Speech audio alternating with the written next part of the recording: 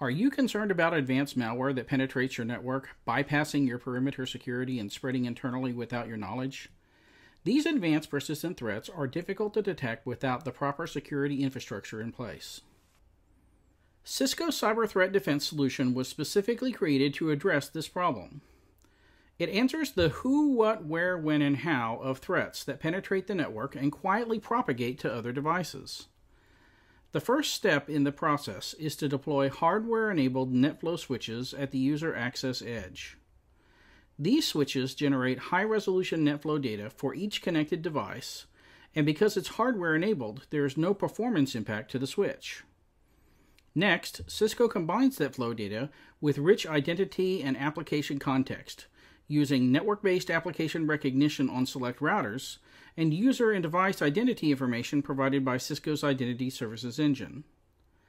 Finally, this rich integrated security telemetry is displayed in a single pane of glass, eliminating the need to manually integrate this information across multiple systems.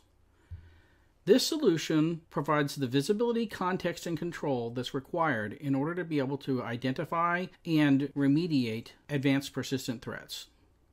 Cisco uses the Lancope StealthWatch Management Console as the single pane of glass that unifies the hardware enabled NetFlow data with identity and application context. This console provides a convenient interface to quickly identify threats and areas of concern on the network. By simply double clicking on a concern index, the security administrator can get detailed data about a potential threat. This data includes all of the flows generated by the endpoint, the kinds of behaviors that generated the suspicious events, and detailed information about the user, device type, domain, and even the switch and port this device connected to. The StealthWatch Management Console displays the key identity information that ties the entire solution together.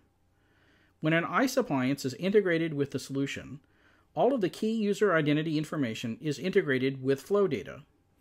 This allows the type of drill down analysis required to trace the path of an advanced persistent threat across the network to its source.